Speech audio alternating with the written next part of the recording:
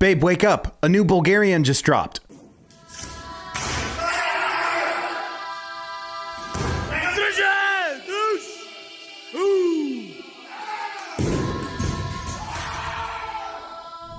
So, what you just saw there is an 18 year old young man.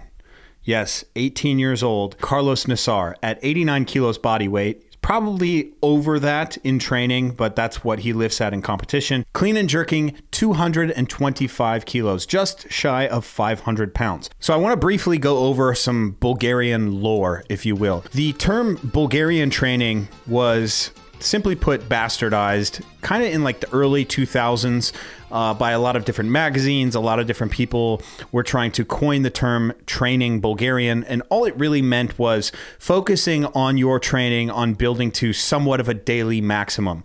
And some people would even go to say to build to a maximum set of three uh, and doing that consistently to build strength and to build size. While that may be an effective methodology, it's really nowhere near the Bulgarian system. The Bulgarian team is an incredibly notorious team for having daily max outs. No, try daily max outs, usually in the snatch, clean and jerk, and front squat. Now, I know Max Aita, who ended up working with the head coach who started the whole thing, Ivan Abadjiev. That's an important name to know. And he said that they did some back squats, they did some pulls, but basically what they were doing was three sessions a day, maxing your snatch, maxing your clean and jerk, and maxing your front squat. The era that this team lifted in was technically the modern era. Before this era, there was the snatch, the clean and press, and the clean and jerk. And when they got rid of the clean and press, this is what we would consider to be the modern era, basically between 1973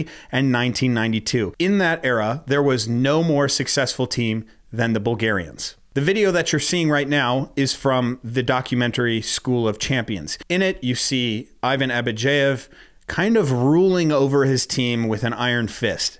The idea is train harder than anyone on earth, kill yourself in training repeatedly, mentally break yourself down so that competition becomes easier. Now, it should go without saying that drugs has a very, very important part in weightlifting training and it still currently does. In a video that I made on Matt Fraser, I talked about one of the Bulgarian lifters talking about the drug use that he had done. His name is Valentin Hristov, and you know, it's it's a massive amount of drugs, but it's also a massive amount of training. And if they're going to get away with it, they're going to get away with it. We can't do anything about that. I don't want to make this video about that at all.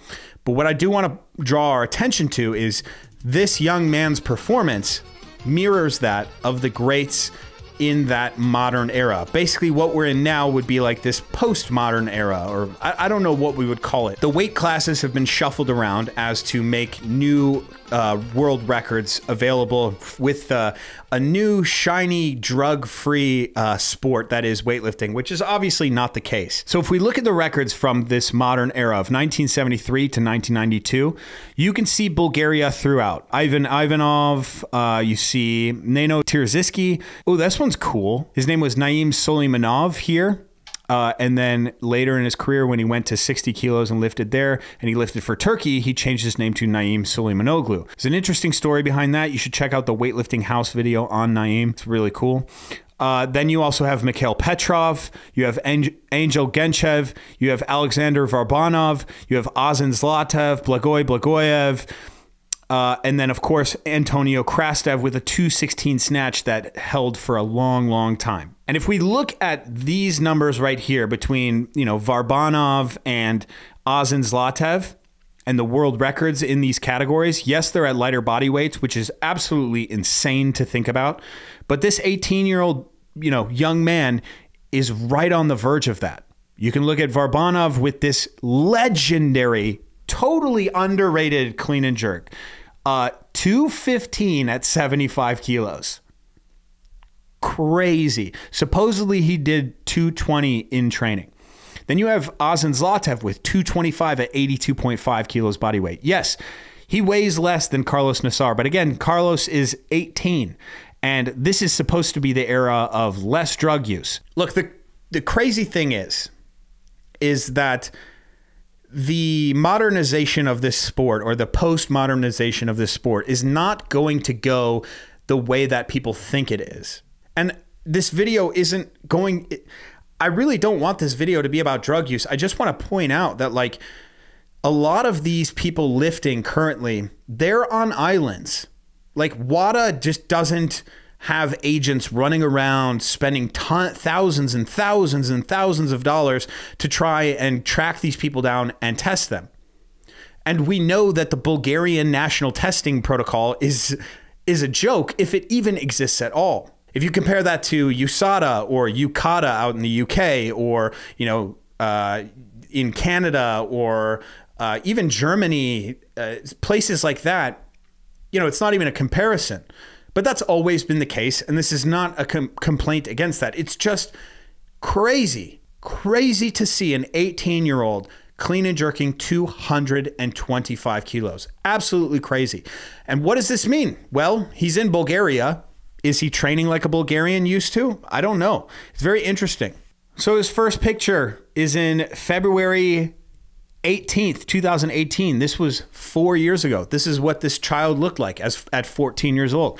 Now, yeah, going through puberty is a hell of a drug. It really is. Uh, it's the highest your testosterone ever is ever going to be.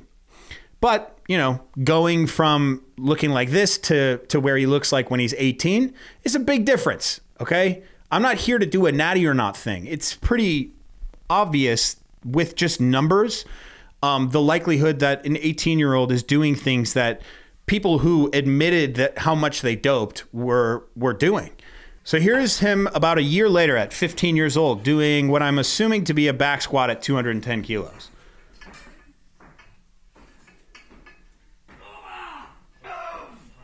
Yeah.